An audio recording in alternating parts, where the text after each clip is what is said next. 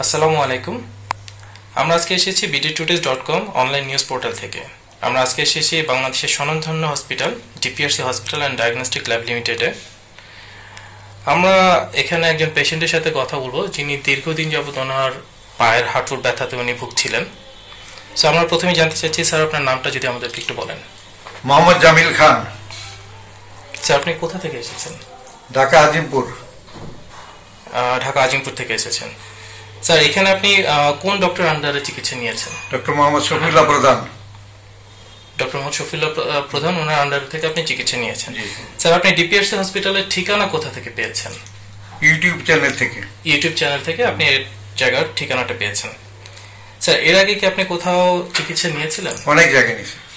অনেক জায়গায় আপনি এই ধরনের চিকিৎসা নিয়েছেন। স্যার আপনার কি কি ধরনের সমস্যা ছিল যদি আমাদের সাথে একটু শেয়ার করেন? আমার হাঁটু ব্যথা হতো হাঁটু বাস করতে পারতাম না।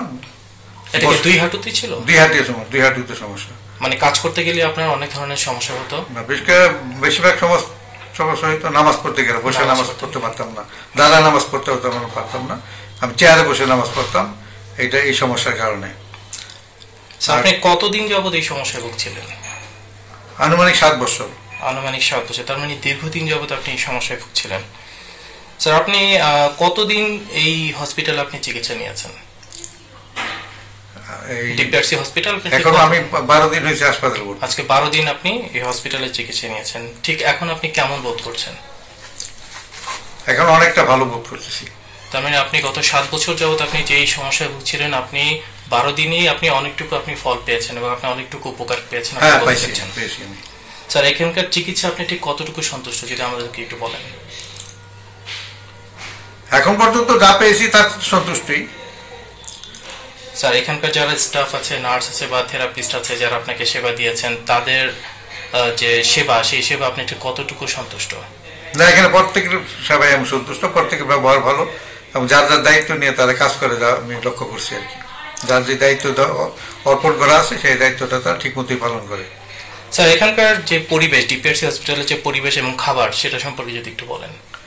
পরিবেশ থাকার পরিবেশ এবং এর পরিবেশ যথেষ্ট মানসম্মত এবং খাবারও মানসম্মত। এবং পরিষ্কার পরিচ্ছন্ন পরিষ্কার একেবারে অনেক হসপিটাল অনেক হসপিটাল এরকম সুন্দর পরিবেশ নেই।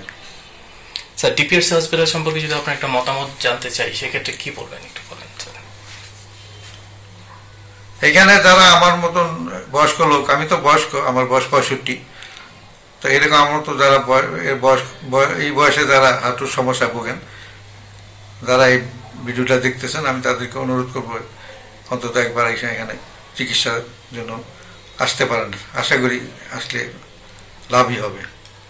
মানে আপনি তাদের সবাই জন্য উদ্দেশ্য বলছেন যে যারা হয়তো এদিক ওদিক ঘোরাঘুরি করছেন বা সঠিক চিকিৎসা পাচ্ছেন না তারা অন্তত একবার হলো এখানে এসে চিকিৎসা নেক। আমার মতে তাই করা উচিত। স্যার আপনাকে অনেক ধন্যবাদ। আমাদেরকে আপনার মূল্যবান সময় দেওয়ার জন্য এবং আপনার মূল্যবান মতামত আমাদের সাথে শেয়ার করার জন্য। অনেক ধন্যবাদ আপনাকে। আপনাকে ধন্যবাদ। আসসালামু আলাইকুম। ওয়ালাইকুম আসসালাম।